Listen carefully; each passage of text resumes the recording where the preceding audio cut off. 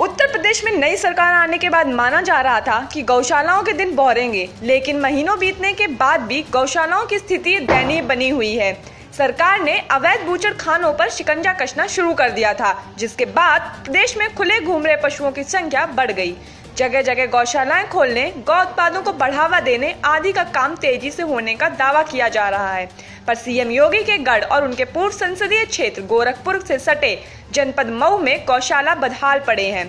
जनपद में दो रजिस्टर्ड गौशालाएँ हैं, जहाँ पशुओं को चारे के संकट का सामना करना पड़ रहा है। यहाँ के प्रबंधकों की माने तो योगी सरकार में चौदह महीने से उन्हें कोई अनुदान नहीं मिल रहा है, जिसकी वजह से कई गायें भुखमरी के कगार पर पहुँच रही हैं।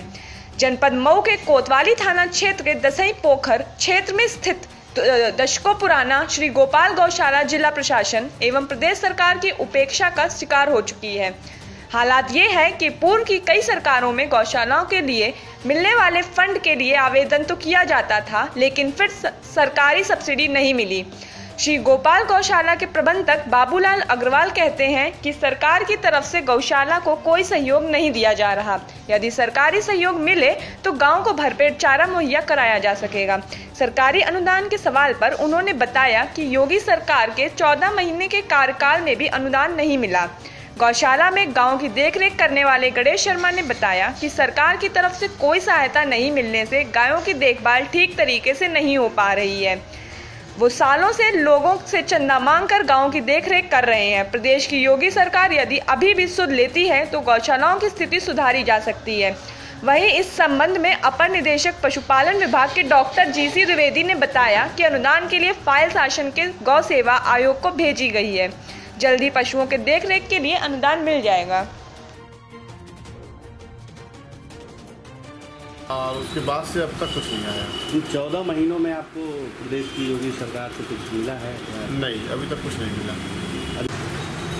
ये उम्मीद तो है कि योगी सरकार में जो है कुछ न कुछ गौशाला को मिलेगा और बहुत उम्मीद है।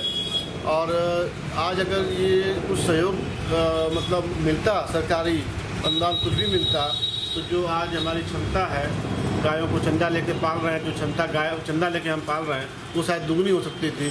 और जो आज छुट्टा घूम रही है गाय या जो भी दुधारू मतलब जो जिन्हें हम गौ माता मानते हैं, अगर वो घूम रहे हैं तो उन्हें भी हम रख सकते थे। मैं बताऊँ ऐसा भी हमने कहा आपको कि गो सेवा आयोग एक ऐसी संस्था है जो गौशालाओं को अनुदानित करती है। और गो सेवा आयोग का जो कार्य करने का पद्धति है पशुपालन विभाग के माध्यम से है।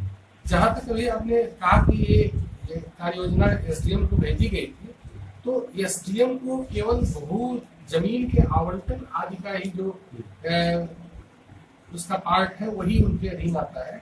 शेष जो अनुदान देने के लिए प्राविधान है वो जब तक डीपीआर हमारे स्थानीय चिकित्सा अधिकारी के द्वारा उसको मूल्यांकन नहीं कर दिया जाएगा। जब तक हम वहाँ पे उनके गौशाला की क्षमता जो है उसका आकलन नहीं कर लेंगे।